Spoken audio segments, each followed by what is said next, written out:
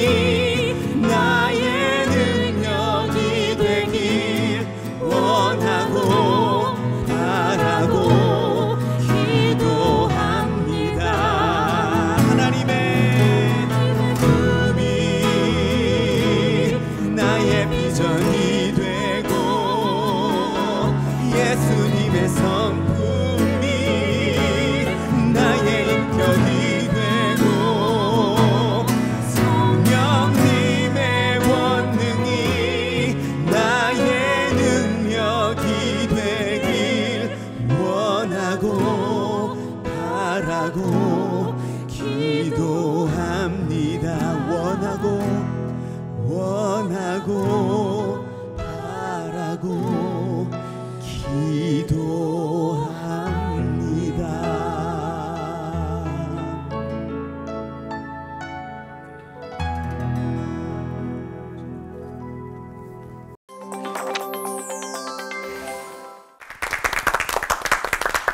우리 부모들이 가장 원하고 바라는 것 중에 하나가 우리 아무개 좋은 대학 또 좋은 직장 들어가서 평생 고생하지 않고 꽃길만 걸었으면 하는 거 아닐까 싶은데요.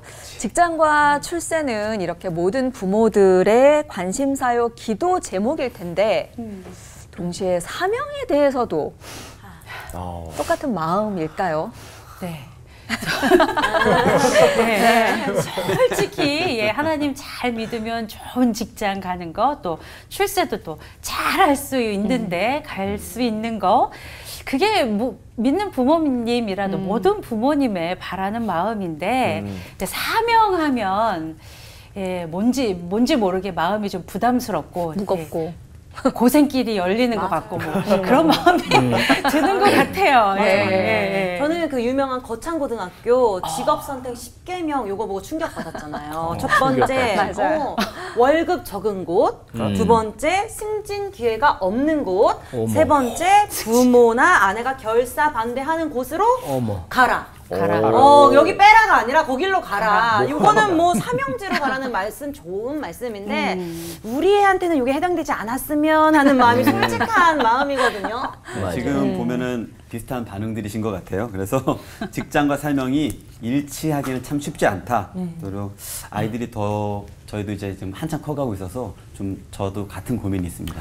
맞아요. 그 그리스도인이라고 해서 올포원만 어, 출연할 수 없는 게 아닌가요?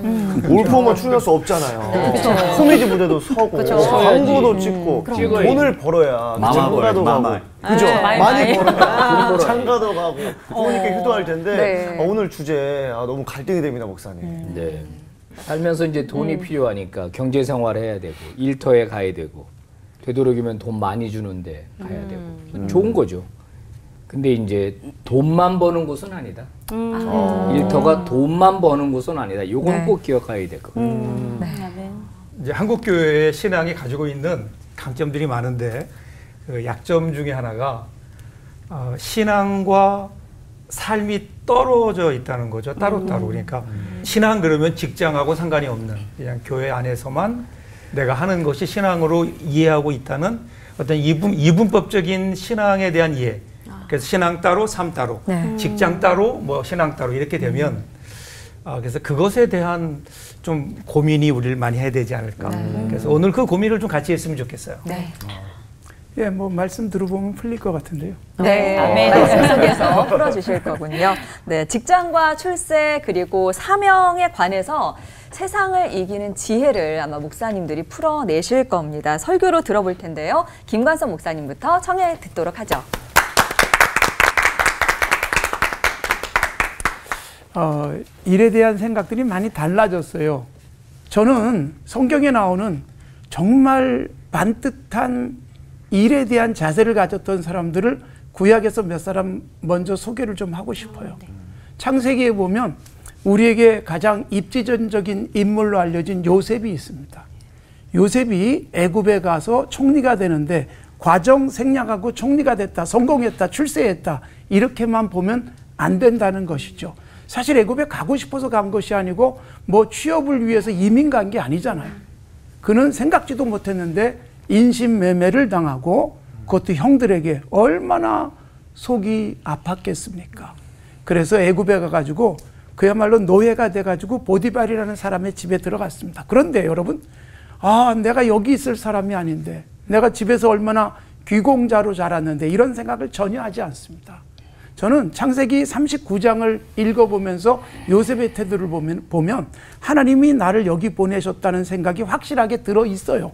그 뒤에 그런 고백을 하지만 그래서 보디발의 집에서 일을 할 때 너무 성실하니까 보디발이 자기 집안의 모든 일을 그에게 맡길 정도 거기다가 요셉에게 맡긴 것은 확인할 필요가 없었다. 그런데 억울하게도 또 죄를 뒤집어 쓴 채 감옥에 갑니다. 감옥에 가서도 굉장히 성실한 모습 때문에 간수장이 그에게 옥중 재반 업무를 맡겨요. 그런데 그때도 마찬가지예요. 여러분 억울하게 애굽에 왔고 정말 이게 감당하기 어려운 고통 속에 감옥에 들어왔는데도 거기서도 자기에게 맡겨진 일은 간수장이 확인할 필요가 없었다. 일에 대한 자세예요. 요셉은 그 일이 하나님께서 주신 일이고 내가 하는 일은 사람 보기에 좋게 하려는 게 아니라 하나님 보시기에 적절한 일을 했다라고 보여집니다. 자, 그리고 나서 다윗이라는 소년을 만나게 됩니다. 사무엘상 17장에 보면 다윗 이야기가 나오는데 그 골리앗과 싸우기 전에 사울 왕 앞에서 골리앗과 나가서 싸우겠다고 그가 자원을 하면서 했던 이야기가 뭐냐면 아버지의 양을 지킬 때 사자나 곰이 나타나면 달려가서 사자와 곰의 발톱에서 양을 건져냈습니다. 사실 여러분 이건 목숨을 거는 일이었습니다. 아버지의 양 차라리 몇 마리 잃고 자기 생명을 보존하고 다른 양떼를 잘 돌보는 게 훨씬 더 지혜롭다고 생각할 수 있을지 모르지만 양 한 마리에 목숨을 걸었습니다. 그런 다윗을 하나님이 건져내셨다라고 그렇게 고백하고 있지 않습니까? 양 한 마리 지키기 위해서 목숨을 거는 것은 양을 지키는 일이 단순하게 나의 노동, 내가 할 일 정도가 아니라 하나님이 내게 맡기신 양을 지킨다라는 생각. 그게 나중에 이스라엘 전체를 지키는 목자가 되게 했을 겁니다. 또 다니엘이라는 인물이 나와요. 이 다니엘은 이스라엘이 멸망하고 바벨론의 포로로 잡혀가서 그 중에 뽑힌 사람들이 공부도 잘 할 수 있게 됐고 그리고 그가 바벨론뿐만 아니라 바벨론이 망하고 메데 파사에서도 고위 공직자가 됩니다. 그런데 그를 흠집 내려는 사람이 조사를 하고 사찰을 하고 그랬는데 여러분 다니엘 6장 4절에 보면 아무 틈이 없었다. 허물이 없었다. 얼마나 철저하게 일을 잘했으면. 여러분 저는 이 세 사람의 사례를 보면서 무슨 생각을 하는가 하면 이들이 단순하게 노동을 하고 있거나 일을 하는 게 아닙니다.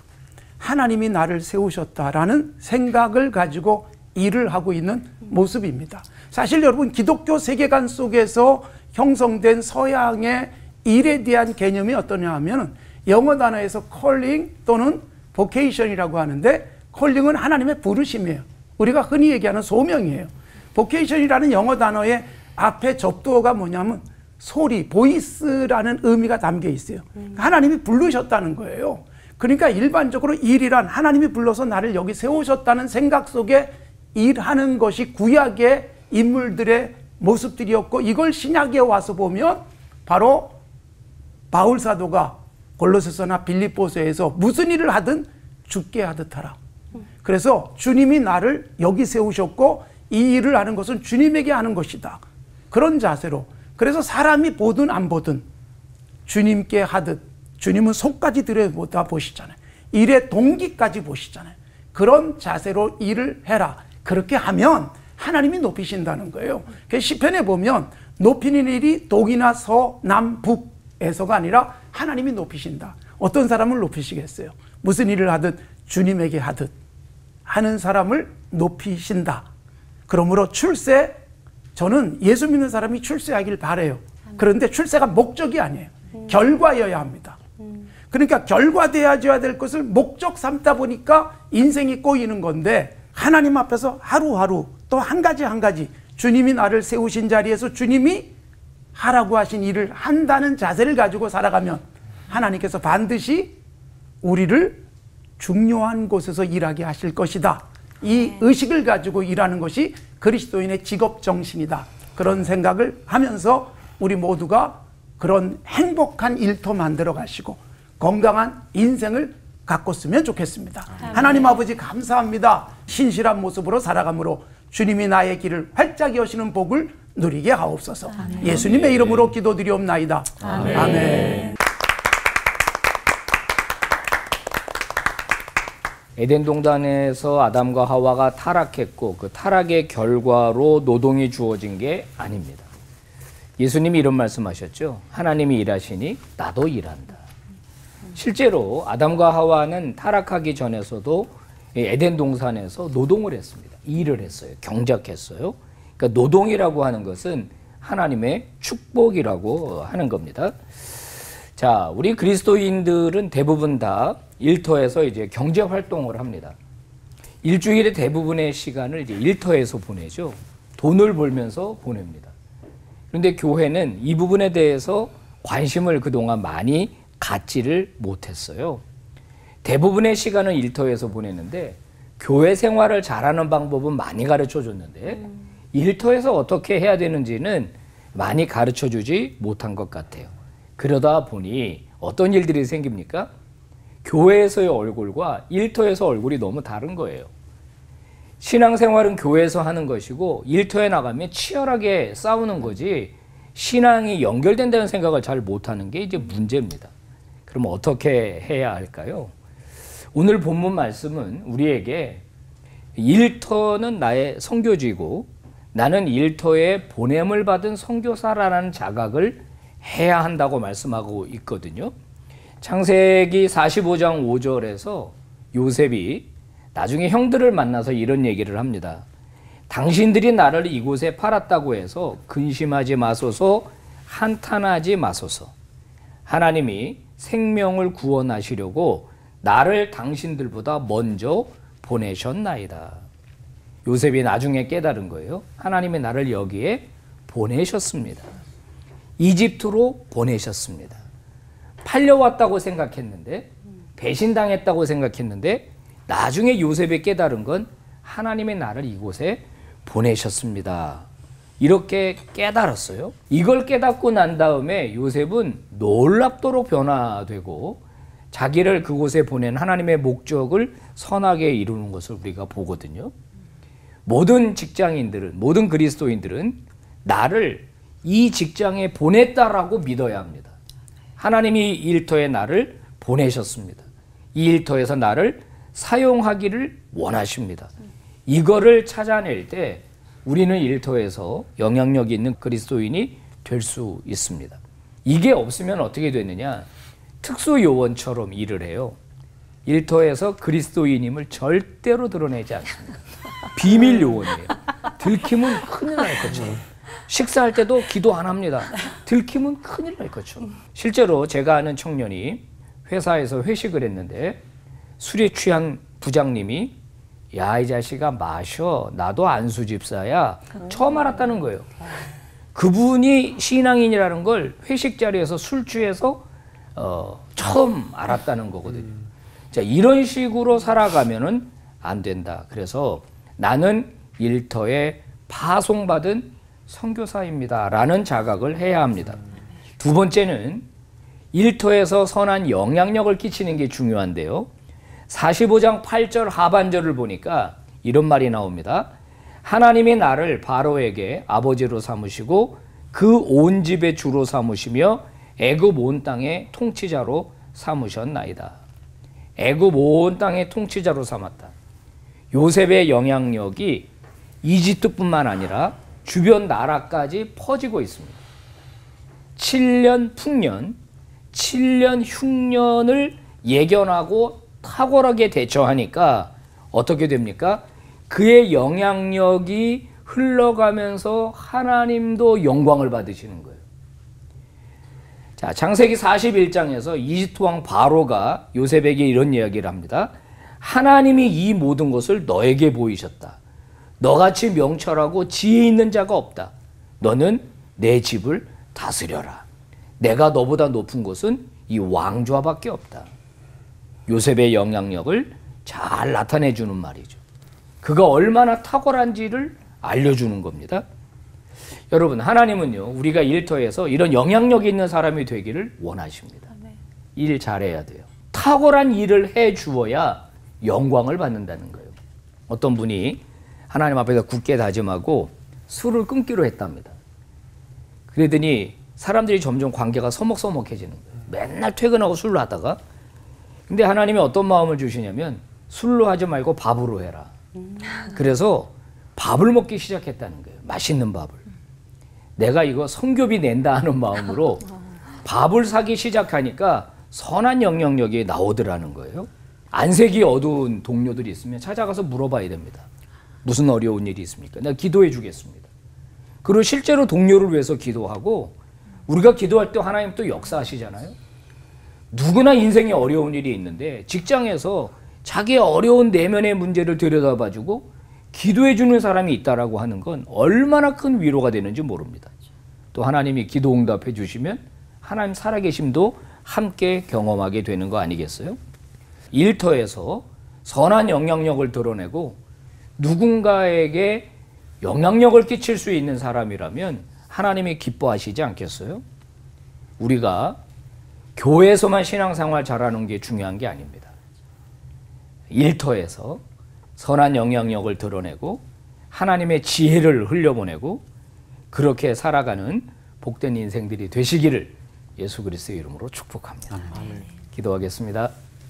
하나님 아버지, 우리 그리스도인들이 가는 곳마다 주님 함께 가주시고 저들을 탁월하게 하시고 저들을 뛰어나게 하실 때 저들을 통하여 하나님 영광 받으시고 복음이 흘러가는 통로가 되게 해 주시옵소서. 예수 그리스도의 이름으로 기도 올리옵나이다. 아멘. 우리는 너무 주의 일들을 그냥 교회의 일이라고 어, 제한하고 있는 거 아닐까? 그래서 오늘 이 시대 그리스도인들 보면요, 특별히 직장에 일하는 그리스도인들 보면 둘 중에 하나인 것 같아요. 하나는 세상 사람과 똑같이 여전히 성공이 최고의 가치가 되어서 그들과 똑같이 그냥 일하는 거예요. 또 한 사람은요, 직장의 일은 하나님의 일이 아니다. 이거는 하나님의 일과 전혀 무관하기 때문에 그래서 그냥 마지못해 소극적으로 일하는 사람들의 모습들도 그리스도인 직장인들 가운데 꽤 많이 있죠. 이 두 가지 경우 공통적인 거는요. 신앙과 직장이 일치하지 않는다는 거예요. 신앙 따로, 그 다음에 직장 따로. 근데 성경을 보면 성경은 우리의 일이 곧 주의 일이고 우리의 삶이 신앙의 장이 되어야 된다고 하는데 오늘 우리는 왜 이렇게 이분법적인 신앙생활을 하고 있을까? 어떻게 해야 우리의 직장이 주의 일이 되는 어, 이 귀한 경험을 하며 살 수 있을까? 오늘 본문이 어, 상전과 종 오늘날로 번역해 보면 직장 관계를 설명하고 있습니다. 먼저 22절 보면 이렇게 얘기해요. 종들아 모든 일에 육신의 상전들에게 순종하되 사람을 기쁘게 하는 자와 같이 눈가림만 하지 말고 오직 주를 두려워하여 성실한 마음으로 하라. 이 종이란 말을 이 시대 언어로 바꿔 본다면 직장인들일 겁니다. 직장에서 순종해라. 구체적인 방법이 눈가림하지 말아라 라는 거예요. 이 눈가림하지 말아라. 그러니까 이 눈가림을 영어로 얘기하면 eye service 그렇게 얘기하거든요. 그러니까 주인이 있으면 일하고 주인이 없으면 일 안 하는. 주인 눈치 보지 말아라. 기회주의적으로 일하지 말아라. 왜 그런가 하면 거기에도 하나님이 계시기 때문이다. 거기서도 하나님이 나를 보고 계시기 때문이다. 우리 하나님은 교회에서만 우리를 보시지 않잖아요. 직장에서 일하는 우리의 모습을 보고 계시다고요. 이것은 직장인에게만 어, 적용되는 것은 아닙니다. 고용주에게도 동일하게 상사들에게도 적용되고 있죠. 오늘 4장 골로새서 4장 1절 보면 상전들아 의와 공평을 종들에게 베풀지니 너희에게도 하늘에 상전이 계심을 알지어다. 그러니까 우리 모두는 어, 직장에서 어, 뭐 고용주로 일하든 고용인으로 일하든 상사로 일하든 아니면 또 직원으로 일하든 간에 우리 모두 다 크리스찬이라면 직장에서 하나님을 의식하며 살아야 되지 않을까. 이것이 우리 크리스찬의 자리입니다. 어디 있든지 우리는 하나님 앞에 있잖아요. 직장도 하나님께서 우리를 보내신 자리입니다. 그래서 우리는 그곳에서도 하나님과 함께 살아야 되죠. 하나님 앞에. 우리의 직장이, 아, 하나님이 보고 계시는 하나님과 함께 하는 자리다. 하나님 앞에서 일한다고 하는 이 의식을 회복하는 것이 첫 번째 가장 중요한 스텝이 아닐까. 두 번째 스텝은요, 23절입니다. 무슨 일을 하든지 마음을 다하여 죽게 하듯 하고 사람에게 하듯 하지 마라. 주님이 함께 하시기 때문에 모든 일을 할 때 죽게 하듯 해라. 자, 죽게 하듯 해라. 이 말의 의미가 뭘까요? 이것은 주님께서 이 일을 내게 맡기셨다라는 생각을 가지고 늘 일해야 된다는 거죠. 그럴 때 우리 직장에 일에 두 가지 전 변화가 있을 거라고 생각해요. 하나는요, 즐거움이에요. 일하는 즐거움이에요. 그냥 마지못해 일하는 일이 아니라 하나님이 나에게 맡겨주신 일이다라는 거죠. 그러면 우리는 분명히 거기에서 의미가 있고 가치가 있지 않을까요? 하나님이 맡겨주셨기 때문에 우리는 기쁨으로 즐거움으로 일할 수 있겠죠. 또 하나는요, 그러기에 성실하게 일하는 겁니다. 우리가 능력에 따라 잘할 수도 있고 못할 수도 있겠지만, 그러나 크리스찬들은요, 하나님 앞에서 살아가는 사람들이기 때문에 성실해야 됩니다. 이 세상 사람들도 성실할 수 있죠. 그런데 우리 그리, 우리 그리스도인들은요, 성실해야만 합니다. 왜냐하면 우리는 불꽃 같은 눈동자로 바라보시는 우리 하나님 앞에서 일하기 때문에. 그래서 우리는 성실할 수밖에 없는 거죠. 죽게 하듯 해라. 그래서 우리 직장 생활에 일하는 즐거움이 있고 그 누구보다도 성실하게 일하는 거죠. 자, 그러면 그런 생각이 들어요. 그러다가 우리가 잘 어, 승진도 안 되고 그리고 내가 원하는 대로 일이 이루어지지 않으면 어떻게 하죠? 그래서 마지막 24절 보세요. 이는 기업의 상을 주께 받을 줄 아나니 너희는 주 그리스도를 섬기느니라. 궁극적인 상은 누가 주는가 하면 우리 주님이 주신다는 거예요. 주님이 나의 성실을 하세요. 주님이 나의 즐거움을 하세요. 그분이 보상하신다는 거예요. 그분께서 분명하게 어, 보장하신다. 얼마나 내가 하나님 앞에 일하고 있는지 주님께서 보고 계신다. 25절도 불의를 행하는 자는 불의의 보응을 받으리니 주는 사람을 외모로 취하심이 없느니라. 사람들이 알아주든 알아주지 않든 내가 원하는 대로 직장의 일이 진행되든 안 되든 궁극적으로 우리의 마지막 모습은요 하나님께서 보상하신다는 거예요. 어, 살다 보면 억울할 때도 있을 거예요. 내가 일한 만큼 인정받지 못할 때도 있을 거예요. 보상이 없을 때도 있을 거예요. 그때 기억해야 될 것은 우리의 보상은 직장이 아니라 하나님께서 직접 해 주신다는 거예요. 그래서 우리는 그날을 사모하는 것 아닐까요? 오늘은 비록 내가 원하는 대로 이루어지지 않았지만 보상이 없지만 그것을 기억하시고 분명하게 언젠가는 더 큰 은혜를 우리에게 보상해 주실 주님을 기대하면서 오늘도 우리의 직장에서 크리스찬으로서 즐겁게 성실하게 하나님의 의를 이루며 아, 일하는 저와 여러분들 될 수 있기를 주님의 이름으로 축복합니다. 기도하겠습니다. 아멘. 하나님 감사합니다. 신앙인으로 살아가는 신앙인의 모습이 어떤 것인가를 보여주며 하나님의 영광을 나타내며 살아가는 저희들 특별히 우리 모든 크리스찬 직장인들 되게 하여 주옵소서. 예수님 이름으로 기도합니다. 아멘. 그리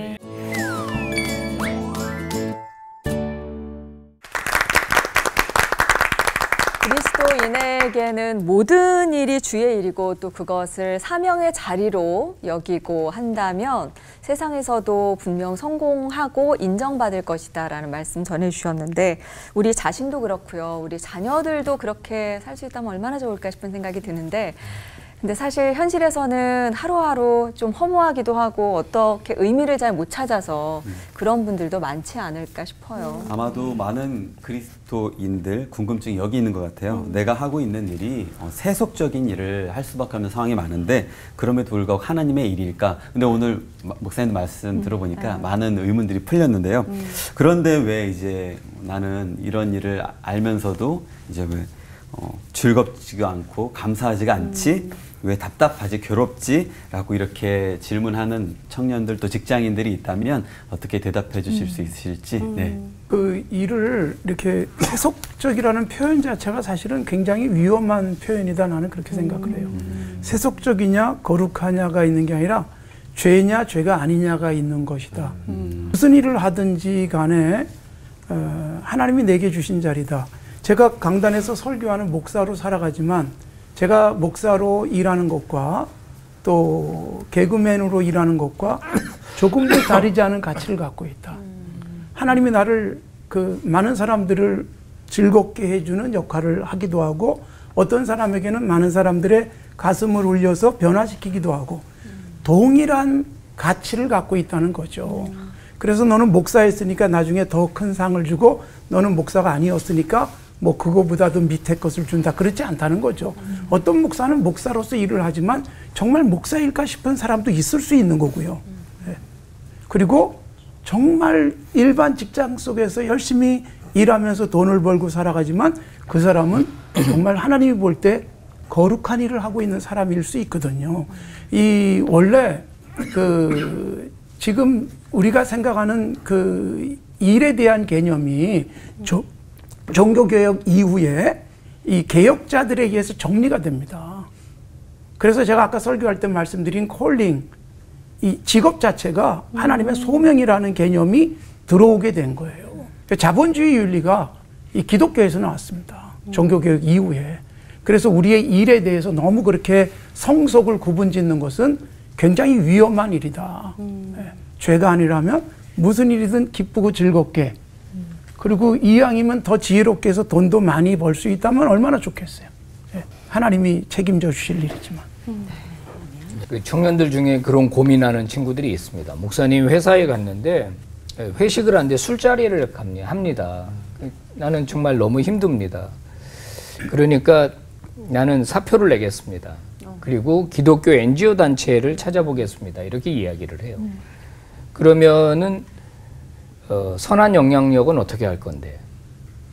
기독교 NGO 단체만 다 들어가면 다른 세상 속에는 누가 들어갈 건데? 그래서 우리 그리스도인들이 이런 생각을 해야 되죠. 내가 그 직장에 들어가서 이 직장이 타락한 문화를 가지고 있기 때문에 사표를 던지는 방법도 있겠지만 그게 아니고 내가 윗자리로 올라가서 기업의 문화를 바꾸겠다. 우리 부서의 문화를 바꾸겠다. 내가 회식 문화를 바꾸겠다. 이런 태도를 가지고 어, 일터에 가야 되는 거예요. 그리고 일은 돈 벌기 위한만 위한 수단만은 아니다라는 점을 반드시 기억해야 되고 일하는 것은 하나님의 축복이다. 그게 무슨 일이든지 간에. 그래서 기쁨으로 감사함으로 실제로 해야 되고요. 초기 세계 교회에서 기독교의 부흥을 연구한 로드니 스타크라는 사람이 있습니다. 어떻게 로마가 국교가 됐는가? 여러 이유가 있는데 그 중에 하나가 뭐냐면 그리스도인들을 써봤더니 다르더라는 거예요. 일터에서. 골삼이삼 골로새서 3장 23절 골삼이삼인데 모든 일을 죽게 하듯 하는 그리스도인들이 성실하더라는 거예요. 일을 잘하더라는 거예요. 그래서 실제로 어, 이 콘스탄티누스가 이 기독교 국가를 만들면은 이 건강해지겠구나 국가가 이런 생각을 했다는 거거든요. 그러니까 일은 축복이다. 그리고 사명이다. 그리고 남들이 가지 않는 곳으로 가야 한다. 어, 그리고 가서 바꿔야 한다. 이 생각만 가진다면 어, 일에 대한 어떤 그 신학이란가 태도가 좀 정립이 되지 않겠는가 이런 생각을 해봅니다. 예. 그 사실은 우리 개신교에는 그래서 성직자라고 하는 말이 없죠. 어, 성직자라고 하는 말을 쓰지 않죠. 왜냐하면 성직이라고 하는 것은 어, 어떤 어, 목회자들을 의- 의미하는 것만이 아니라 하나님을 위해서 일하는 모든 직업, 그걸 성직이라고 얘기하죠. 어, 우리가 목회하지만 아까 목사 말씀하셨지만 목회하지만 목회자들까지도 하나님을 위해서 일하는 것이 아니라 자기 욕심을 위해서 일한다. 성직이 아니죠. 그러나 작은 어, 시장에서 물건을 팔더라도 난 하나님의 영광을 위해서 이 일을 한다고 하는 분명한 의식이 있으면 하나님은 그것을 귀하, 귀하고 성직으로 여기지 않을까. 아, 그런 거죠. 그래서 젊은 이들이 그런 고민 많이 해요. 저희 교회 권사님이 계신데 어, 그 권사님은 어, 이 프로를 안 보시길 바라고요. 어, 그 권사님이 저에게 오셔서 우리 아들 대, 좀 좋은 기업에 들어가게 달 기도해 달래요. 그러니 기도 열심히 했죠. 근데 오더니 아 합격했다는 거예요. 그래서 잘 됐다고. 얼마 안 있다가 오더니 아 그만둬야 되겠대요. 그래서 왜 그러니까 주일 성수를 못 한대요. 그래서 그 권사님 불러서 얘기했어요. 어 기도해서 들어간 직장이고 하나님께서 열어주시고 보내주신 직장이라면 그럼 이렇게 쉽게 우리가 어, 그 직장을 나올 수 있는 게 아닙니다. 거기도 하나님이 보내신 자리입니다. 그러니까 주일 성수 못한다면 어, 수요일 나오고 새벽에 나와서 기도하고 어, 신앙 생활을 충분히 할 수 있도록 다른 길을 찾고 어, 교회 많은 가능성들이 있으니까요. 아, 그리고 열심히 정말 일을 해서 그 직장에서 없으면 안 될 정도의 중요한 사람이 돼서 나중에 제가 그 원생에 그랬어요. 아, 나 아무래도 나는 주일날 교회 가야 돼서 이 직장을 못 나오겠습니다. 그럴 때 교회 가라고. 아, 그리고 우리 직장에 계속 나오라고. 그렇게 얘기할 수 있도록 열심히 일을 하는 것을 하나님이 기뻐하시지 않을까요? 아, 우리가 일을 하면서 내가 하는 일이 하나님의 일이라고 하는 분명한 사명감을 깨닫는 게 가장 중요할 것 같아요. 권사님보다 권사님 훨씬 거룩한 것 같은데요. 우리가 그 주일 성수라고 하는 개념에 너무 이렇게 매달리는 것. 이 사실 그렇게 치면은 경찰 뭐 응급실에 근무하는 사람 그거 하면 안 되잖아요. 그거 누가 책임질 거예요. 맞아요. 네. 그리- 그리스도인들이 하나님이 나를 보내셨다라고 하는 사도성. 예수님이 요한복음 20장에서 부활하시고 난 다음에 내가 너희를 보낸다. 아버지께서 나를 보낸 것처럼. 그러니까 어느 직장에 가든 주님이 나를 보낸 곳이다라고 하는 생각을 가지고 주님을 섬기듯 하면 세상도 바뀌고 나의 가치도 높아지지 않겠어요?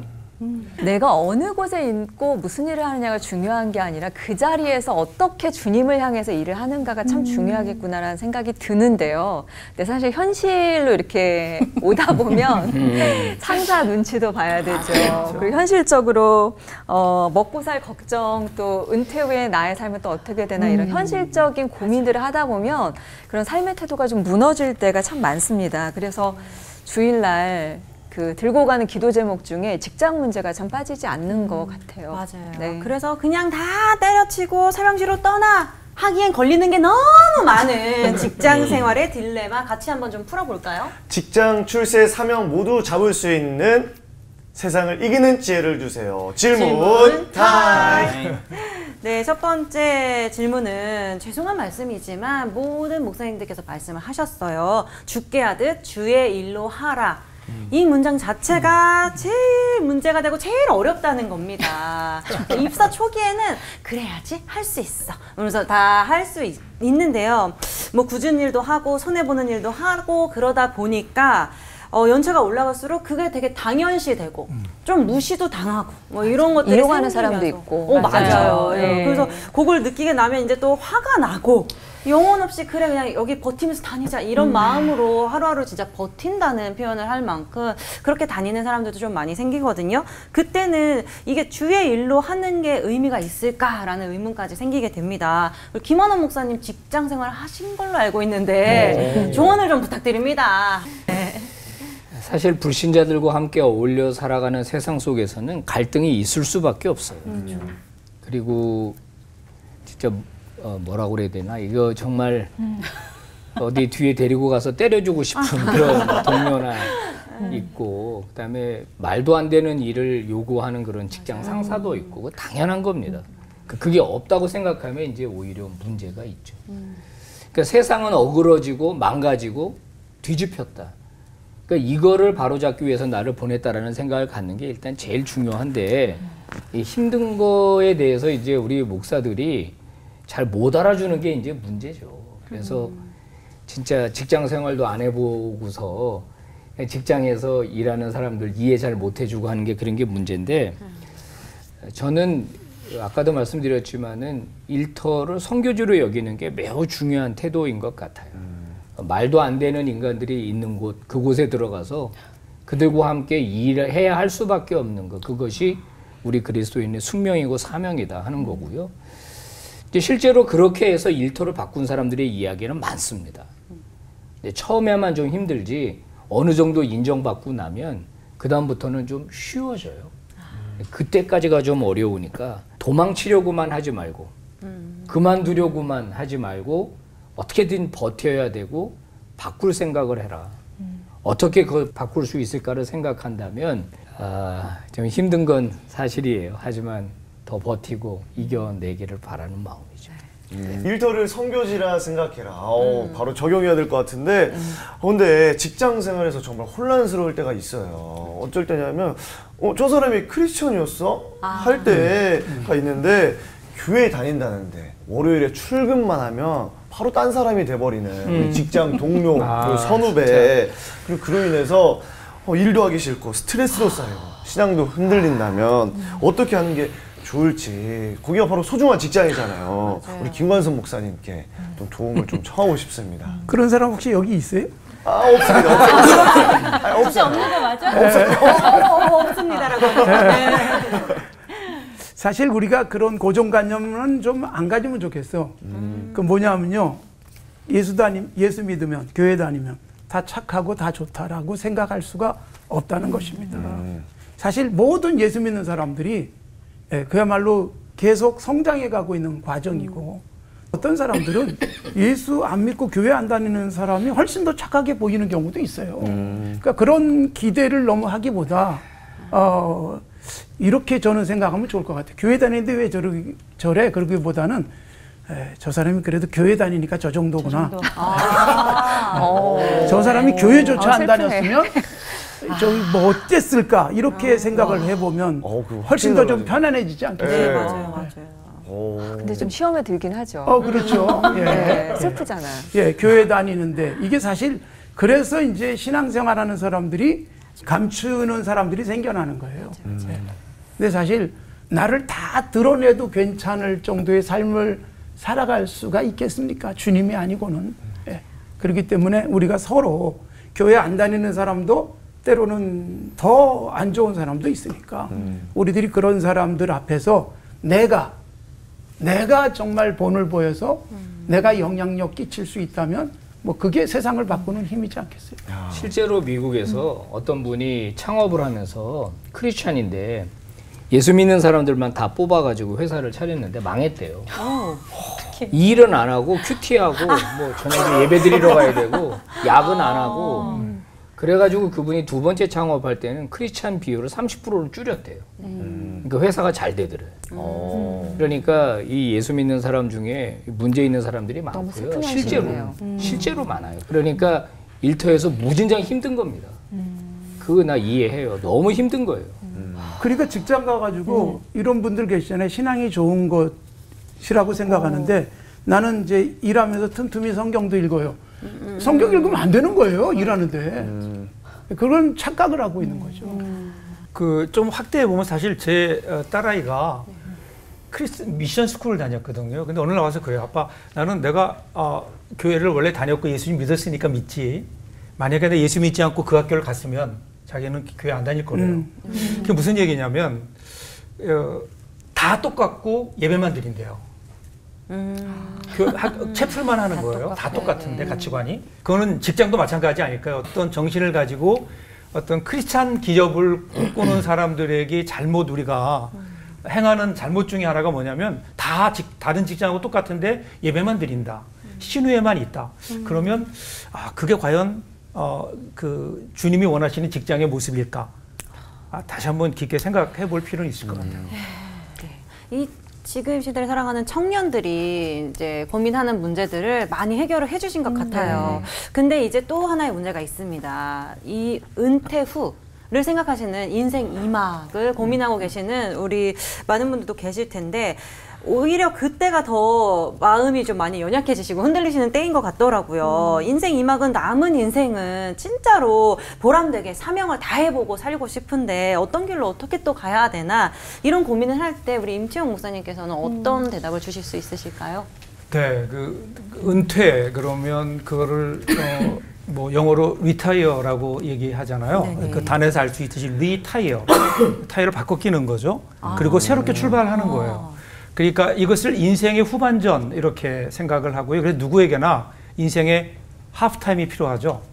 중간에 쉬는 시간, 하프타임이 있어서 그때 우리의 전반전을 정리해보고 잘못한 거, 잘한 거 정리해보고 후반전에 어떻게 살 것인가를 계획할 수 있는 시간이 필요할 것 같아요. 그런데 전반전이 어떤 의미에서는 무언가를 쌓아온 것이었다면 어떤 성공을 위해서 쭉 달려왔다면 이제 후반부에는 좀 그걸 내려놓고 나누고 아, 그걸 다시 한번 정리해보고 의미를 부여하는 그러한 시간이 필요하지 않을까. 그래서 어, 그렇게 우리의 후반전을 좀 계획할 수 있다면 그러면 우리의 삶이 어, 오히려 더 풍성해지는 그런 경험이 있지 않을까 그런 생각을 합니다.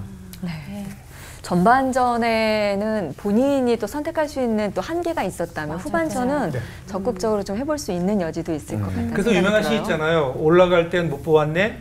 그 내려올 때그 본그곳뭐 그런 비슷한 시가 있는데 네. 올라갈 때 보이지 않는 것들이 내려올 때 보이거든요. 네. 그래서 그러한 어떤 좀 삶의 통찰력을 가지고 우리 삶이 좀 더 깊어지면서 나이만 들어가기보다 좀 주위의 사람들을 살필 줄 아는 어른들로 어, 성장해 갔으면 좋을 것 같아요. 참 쉽지 않은 고민들이지만 목사님들의 조언을 통해서 많이 해결하고 있는 것 같은데요. 어, 믿지 않는 사람이 더 많은 일터에서 사명자로 산다는 게 힘들지만 우리가 그래도 꼭 해내야 될 일들이구나라는 걸 생각됩니다. 간접적으로라도 이렇게 살아가는 사람들의 사례들을 좀 접한다면 힘이 될 것 같아요. 맞아요. 세상 영광 쫓아가지 않고 하나님 영광을 쫓아갔더니 결국은 직장에서도 인생에서도 꽃을 피우더라라고 하는 예 그런 롤 모델들이 있으실 텐데 좀 소개를 해주시면 저희도 또 저희뿐만 아니라 다음 세대들한테도 또 전해주고 이야기해 줄 수 있으면 참 힘이 되고 어, 좋을 것 같습니다. 소개해 주시기 부탁드릴게요. 예. 인생의 롤 모델은 아닌데 이제 우리가 다음 세대 청년들 이제 이 청년들에게 일터, 신학, 그 다음에 이제 어떤 태도로 직장 생활을 해야 되는지 이런 것들을 쭉 가르쳤는데 어, 몇몇 청년들이 좋은 소식들을 좀 전해 왔어요. 이제 이런 거죠. 그 이 친구는 이제 대학생인데 이제 회식 자리에 다 가서 콜라를 먹으면서 마지막에 이제 정산을 하는데 n분의 1로 나눠서 자기도 똑같이 돈을 낸다는 거예요. 너는 술을 안 먹었는데 왜 돈을 내냐? 나도 똑같이 동참한다. 실제로 이제 그런 식으로 그 다가가니까 결국은 주변에 있는 친구들이 관심을 갖게 되고 호기심을 갖게 되고 그러면서 예수 그리스도에 대하여 자기도 어릴 때 사실은 예수 믿었는데 뭐 이러면서 어 실제로 교회에 따라왔어요. 일 예배에 따라온 그런 케이스가 실제로 있어요. 그래서 아 이게 되는구나. 그다음에 이제 그 직장에서 왜 면접하시는 분들이 있잖아요. 이분들의 태도도 요즘 바뀌고 있다는 거예요. 공부 잘하는 인류 대학에 있는 애들이 잘하는 건 시험 치는 것만 잘한대. 실제로 뽑아 보니까 일터에서 협업도 안 되고 협력도 안 되더라는 거예요. 그래서 요즘 이제 좀 바뀌고 있어요. 그래서 우리 그리스도인들이 어, 어느 직장에 가든지 간에 어, 된다 이게 정말 이 그리스도인으로서 하면 된다 이 생각을 가져야 될 것 같아요. 그러면 어, 정말 선한 영역 흘러갑니다. 제가 이름을 대면 정말 알만한 분 얘기라서 제가 이름은 안 되겠고 네, 마. 그 장, 장로님이세요. 예, 그리고 어, 헌법재판소 재판관까지 하셨습니다. 예. 근데 그분이 초임 검사 시절 얘기를 간증을 했어요. 서울의 남부지검에 이렇게 처음 부, 부임을 했어요. 이제 검사들은 술을 굉장히 잘 마시는데 이제 환영식이 있었어요. 자기를 환영하는 회식에 가가지고 술을 한 잔도 안 마셨다는 거예요. 사실 이게 이해가 되지 않죠. 자기를 환영하는 회식에. 제가 그 얘기 들으면서 제 장교 처음 갔을 때 그 회식 자리가 생각이 났었어요. 그런데 그렇게 되니까 이제 주변에 있는 사람들이 너 이제 네 앞길 다 막혔다. 그렇게 얘기했는데 그때 남부지검장이 그 사람을 그 지검에서 가장 꽃 보직이라고 하는 곳으로 세워줬다는 거예요. 길이 쫙 열린 거예요. 그리고 정말 그, 그 검사 세계에서는 최고의 자리까지 올라가게 되는 거죠. 그러니까 내가 하나님만 바라보고 그 대신 내가 맡긴 일은 누구, 누가 봐도 믿을 만하게 정말 열심히 하면 충분히 하나님이 높이시기 때문에 우리는 하나님을 바라볼 것이냐 아니면 사람 눈치 보며 살 것이냐 해서 선택만 잘하면 우리의 직장 생활은 하나님이 책임지지 않겠냐. 나는 젊은이들에게 그렇게 권하고 싶어요. 근데 이제 반대의 경우도 있거든요. 그러니까 이제 직장에서 술을 안 마시고 크리스찬답게 살아가니까 오히려 박해가 생기고 인사 불이익이 생기고 하는 경우도 있어요. 항상 이 길이 열리는 것만은 아닙니다. 목사님이 얘기하신 그분은 술만 안 먹었지 다른 일은 굉장히 탁월했을 가능성이 높아요. 그러니까 실제로 불이익을 당하는 경우도 분명히 있다는 걸 알아야 됩니다. 그래도 우리가 그 길을 갈 거냐, 그 길을 가야 하나님 기뻐하신다는 생각을 우리가 해야 돼요. 그럴 때 당하는 불이익은 반드시 있어요, 그게. 세상이 너희를 미워한다 그랬으니까. 요한복음 17장에서 예수님이. 그런데 그래서 당하는 불이익이 먼 훗날 결국은 불이익이 아니었다는 걸 깨닫게 그렇지. 하실 겁니다. 아멘이죠. 오히려 그 불이익 때문에 나중엔 더 좋아지는 일이 많이 있으니까 그런 사례도요. 아멘. 네. 두 분이 계속 왔다 갔다 얘기하니까 제가 지금 불이익을 당하고 있어요. 방송에도 이런 사람들이 있어요. 어, 그런 생각을 해요. 꼭 우리는 이렇게 아예 판이 짜져서 길이 쫙 정해져 있어서 좋은 대학 들어가고 좋은 대기업 들어가고 뭐 올라가고 하는 그러한 어, 거- 것이 성공이다. 아, 그것만이 아, 최고다. 뭐 이런 어떤 생각들이 우리에게 있어서 모든 부모님들이 다 그렇게 시작하잖아요. 그- 그걸 좀 바꿨으면 좋겠다는 생각을 해요. 처음부터 아 정말 내가 좋아하는 그리고 하나님이 나를 부르신 자리에서 내가 좋아하는 일을 직장에서 할 수 있다면 얼마나 좋을까 그런 어, 교육이 좀 교회 필요하지 않을까 생각을 하면서 전에 제가 아, 함께 이야기했던 한 형제는 공부를 꽤 잘했어요. 그래서 부모님들은 공부 잘하니까 그냥 어디를 가야 되는지를 기대하고 있는 거예요. 근데 그렇지 않고 어, 그, 그 형제가 택한 길은요, 사회복지 쪽이었어요. 자기는 평생 섬기며 살고 싶다. 그런데 그래서 복지 쪽에 들어가서 공부를 하고 졸업을 해서 직장에 들어가고 그리고 거기서 경험을 쌓은 다음에 회사를 만들어서 지금 정말 사회적 기업으로 일을 잘하고 있거든요. 그런 것도 하나의 좋은 샘플이 될 수 있을 것 같아요. 꼭 험한 지역에 들어가서 어, 그걸 싸우면서 이겨내는 것도 중요한 이- 일이 있지만 하나는 정말 내가 원하는 그리고 하나님 보내신 자리라고 하는 확신을 가지고 어, 가장 작은 자리부터 시작해서 거기서부터 뭔가를 이루어가는 것도 크리스찬들 우리 특별히 다음 젊은이들에게 우리가 권해야 될 그런 일 중에 하나가 아닌가 그런 생각을 합니다. 우리가 보기에 불가능해 보일지라도 우리가 슈퍼맨이라서 할 수 있는 게 아니라 성령님께서 함께 하시고 또 하나님을 믿고 따른다면 하나님께서 능력을 주시지 않을까라는 좀 자신감이 생겼습니다. 어, 시청자 여러분들께서도 직장 생활에 대한 고민들 참 많이 갖고 계실 텐데요. 어떤 분이 좀 질문을 갖고 계세요? 네. 오늘은 제가 준비했습니다. 구미에서 이순영 님이 보내주신 질문입니다. 목사님, 안녕하세요. 회사에서 성실히 상관을 모시고 일터를 사명으로 여기며 일하고 있습니다. 그런데 그럴수록 이용만 당하고 일은 늘어만 갑니다. 언제 끝날지 알 수 없는 이 상황에서 그래도 계속해서 이 일을 감당해야 할까요? 불의하다는 생각마저 들면 어떻게 해야 할까요? 이렇게 질문을 주셨어요. 로마서 12장 21절에 사실 굉장히 지혜로워야 됩니다. 악에게 지지 말고 선으로 악을 이겨라. 아멘. 그래서 선을 끝까지 유지해 가는 게 필요하고 불의한 일에 대해서는 불의하라고 말할 수 있어야 돼요, 사실. 그건 말을 안 하기 때문에 계속 그 문화가 그 일터에서 자리 잡힐 수 있습니다. 굉장히 위험한 일입니다. 그런 일들에 대해서 단호하게 거절도 할 수 있어야 되고 그러면서 나는 확실하게 내 역할 잘하고 선을 유지하면 반드시 이깁니다. 예수님이 제자들을 파송하시면서 마태복음 10장에서 뱀처럼 지혜로워라. 비둘기처럼 순결해라. 그러니까 순결과 지혜가 하나가 되는 게 쉽지가 않아요. 네. 그런데 순결하면서도 지혜로운 사람, 지혜로우면서도 순결한 사람. 그래서 확실하게 아닌 건 아니다라고 말할 수 있는 불이익이 오더라도 그런데 결국은 그 사람을 나중에 인정해 줍니다. 네, 저는 그렇게 좀 이겼으면 좋겠다. 불이익을 당했을 때 참는 게 주님이 원하시는 게 아니에요. 불이익을 당할 때 말할 수 있어야 되는 거죠. 그 다음에 불의를 행하게 할 때 그것에 동참하지 않는 용기가 오히려 그것이 일터에서 더 직장 생활을 잘하는 거지. 내가 불이익을 당하고 이용만 당하는데 어떤 컴플레인도 안 한다. 그것은 올바른 직장 생활이 이제 아닌 거예요. 그죠? 근데 그래도 바뀌지 않는다 그러면 회사를 다른 회사를 찾아봐야 되는 거지. 그래도 안 바뀐다면.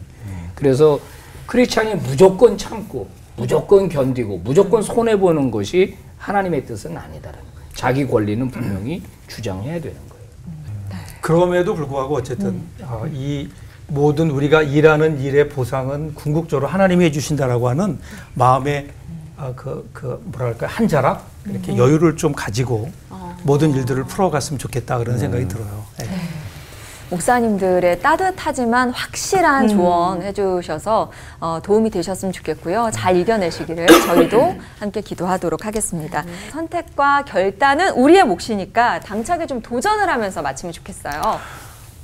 도전! 도전! 죽게 하듯 하는 자에게 주 영광으로 하나 되는 시간 올보! 와!